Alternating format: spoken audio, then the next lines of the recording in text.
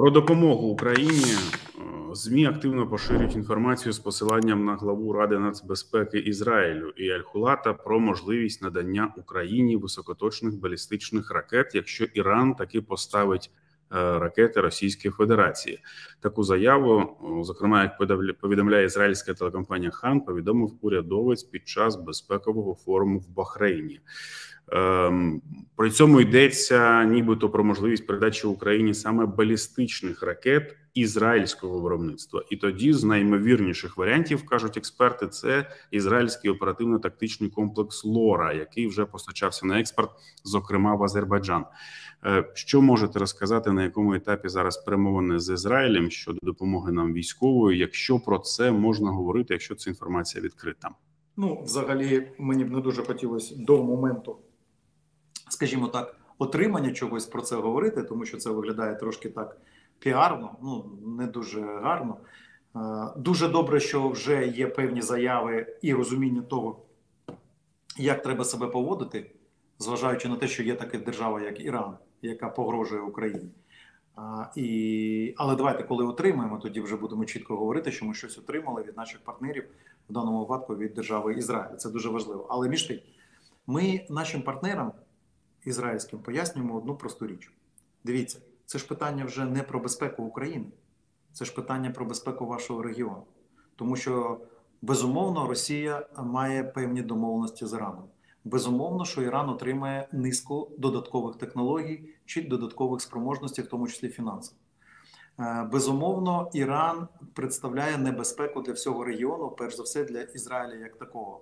І безумовно Іран отримає можливість підтримувати терористичні угрупування, які атакують Ізраїль. Тобто це ж пряма залежність. Ми ж говоримо, коли спілкуємося з Ізраїлем, що ви не проти Росії щось нам будете передавати, а проти Ірану, який міг би використати. Ви ми сьогодні пояснимо. Подивіться, який обсяг дронів чи балістичних ракет є в Ірану. Ви не хочете задати з питанням, а як це підсанкційна держава змогла це все зробити? І уявіть собі, що Іран це буде використовувати в себе в регіоні, не проти України. Тобто ми сьогодні забираємо всі ці ризики і всю ту небезпеку, яка могла бути у ваших домівках, ми забираємо на себе. То допоможіть нам, ми це пояснюємо. Але між тим ми пояснюємо ще більше. Дивіться, програш Російської Федерації у війні проти України буде означати ключовий параметр безпеки для вас. Росія перестане допомагати Ізраїлю технологіями. А як слідство цього, Іран перестане фінансувати терористичне угрупування, той же Хамас чи той ж Хезболу і таке інше. Тобто безпека виросте. Більше того, в Ірані почнуться певні процеси політичні. Чому? Тому що знову ж таки немає держава. Дивіться, Росія це держава, яка каркасно підтримує всі нестабільні режими, всі терористичні угрупування в різних регіонах.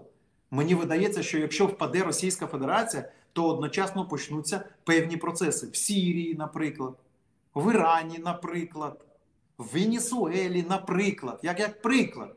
Mm Я не кажу, що це обов'язково. Я просто кажу, в Північній Кореї може бути якісь процеси зменшення агресивності в поведінці. Чому? Тому що саме Росія дає можливість терористичним угрупуванням чи таким режимам, як, наприклад, ісламський режим в Ірані робити те, що вони роблять. Вони почувають силу, вони отримують гроші, вони отримують технології, вони отримують вето в Радбезі ООН. Ви розумієте? І ми так пояснюємо нашим партнерам з Ізраїлю. Дивіться, це не питання війни України з Росією, це питання безпеки вашого регіону, тому що Іран засвідчив можливість, технологічну можливість виготовляти велику кількість сучасної високоточної зброї. Ви точно хочете, щоб вона використовувалась в регіоні за допомоги Росії? Ви точно хочете, щоб Росія перемогла? Ну і таким чином збільшила допомогу таким нестабільним режимам. Більше того, ми пояснюємо не тільки Ізраїлю. Дивіться, неправильна фіналізація війни спровокує інші режими на більш агресивну поведінку. Вони захочуть мати претензії територіальні ідеологічні чи просто повоювати, тому що вони не можуть утримувати внутрішній простір, якщо не пропонують людям якусь ескалацію, бо люди живуть там в голоді, от як в Російській Федерації. І це ж очевидні речі. Але знову ж таки пояснюю, це треба постійно проговорювати, щоб люди це розуміли на різних рівнях. І як мені видається, з Ізраїлем це тяжка е, бесіда, тяжкий діалог. Але між тим вони вже демонструють певне розуміння наслідків не зовсім, е, скажімо так, стратегічно вивіреної поведінки. Про Іран ще декілька слів. Прем'єр-міністр Білорусі Роман Головченко зустрівся з першим віце-прем'єром Ірану Мохамедом Махбером. Е, ну, Білорусь зрозуміла, вони там в них своя вісь зла: Білорусь, Росія, Північна Корея, е, Іран. А от Угорщина ще до цього домовилась з підсанкційним Іраном про початок співробітництва у галузі економіки. Таким чином, Будапешт, нібито хоче нормалізувати ситуацію на близькому сході. І ось тут дивна ситуація: Угорщина, яка членом Євросоюзу, Угорщина, яка членом країною НАТО. Що відбувається ось на цій в цій паралелі? Е, і які перспективи у Угорщини? Чи е, не є е, ймовірним, що вона ну захиталось крісло під е, її перебуванням в Європейському Союзі і в НАТО? Безумовно, це питання Європейського Союзу, як можна тримати е, в своїх е, рядах члена, який займає абсолютно неконструктивну позицію, ти руйнує свідомо руйнує репутацію Євросоюзу цінностну репутацію Євросоюзу. Це робить Угорщина вже протягом останніх там місяців. Причому робиться демонстративно і таке інше. Але це питання саме очільників Євросоюзу. І ми про це, до речі, постійно із вами говоримо про те, що треба навчитись в наш час брати відповідальність. Якщо люди демонструють неповагу до ваших цінностей, до ваших колегіальних рішень, до вашої позиції а в даному випадку говоримо про проукраїнську позицію. Ну певно, треба приймати якісь рішення, не боятись це аргументувати публічно і не боятись прийняти нарешті організаційно ці рішення. Це перша складова. А друга складова щодо самої Угорщини. Ну, ви знаєте, є люди, які вибирають е, там щось, що приносить їм збитки і що робить їх ізгоями, що робить їх аутсайдерами, щоб е, записатись. Ну хоче країна, наприклад, щоб в історичному підручнику було написано, що був нацизм один, був нацизм другий, і вони постійно підіграють нацистам як таким. Вони вважають, що, наприклад, вбивство е, дводенної дитини це супер, це треба підтримати. Ну що, наприклад, руйнування зимою інфраструктури енергетичної великої країни під назвою Україна, да ну тобто вбивство, ну спроба вбивства масового цивільних громадян, які живуть в крупних агломераціях, це круто. Це ж ми давайте підтримаємо. Ви собі пітушок такий на голові одного міністра зробимо і вийдемо з так. А, ну, круто. Ми ж як от класно, це ж Росія. Ми їм підтримали. Пусть вони там режуть ще більше. Да? Ну це ж вибір. Ви розумієте, що коли людина хоче виглядати дивно, коли вона хоче виглядати вкрай негативно, коли вона хоче, щоб люди, коли будуть історично читати це, почували огиду до репутації.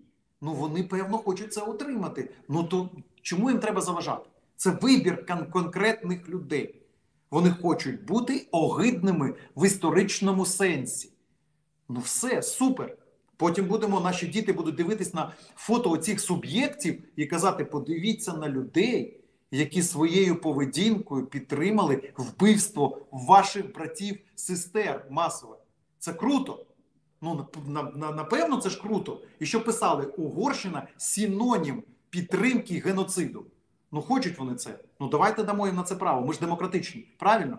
Ми ж погоджуємося з вами. Ну і крім того, безумовно величезний вплив вони е, будуть робити на стабільність ситуації на близькому сходу. Ну крім цієї країни, дійсно, ну хто ж там може забезпечити стабільність? Вони ж такі впливові. Ви знаєте, е, ну це нагадує таке трошки. Коли в якомусь там сільському клубі сидять такі понтовітые парні і кажуть, ну ми зараз там этот Київ быстренько к ногтю прижмемо. Ну, це ну, при, при, приклад такого самого, такої самої поведінки. Знову ж таки, я не хочу образити. Знаєте, чому не хочу? Тому що ми, як з вами прагматичні люди, ми ж маємо виходити з однієї позиції. Кожен має право на свій вибір. Це питання демократії, навіть якщо нам цей вибір не подобається. Нам з вами він точно не подобається. А історично він абсолютно неправильний. І безумовно репутаційно він абсолютно неправильний. Але між тим вони мають право зафіксувати своє негативне ім'я в історії, і ми їм не між не заважаємо в цьому.